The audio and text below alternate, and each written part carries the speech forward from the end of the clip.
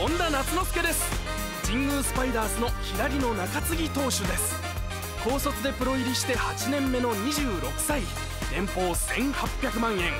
特技は全球団の1軍選手の年俸を空で言えること。プロ野球選手は派手な職業に思われていますが現実はすっげえ厳しいっす所詮プロはお金。稼げる時に稼がなきゃ。人生の収支としては全然ダメなんです。ピッチャーボンダさあ今日も投げますよ。中継ぎの評価は登板数で決まります。グラウンドには銭が埋まっている。グ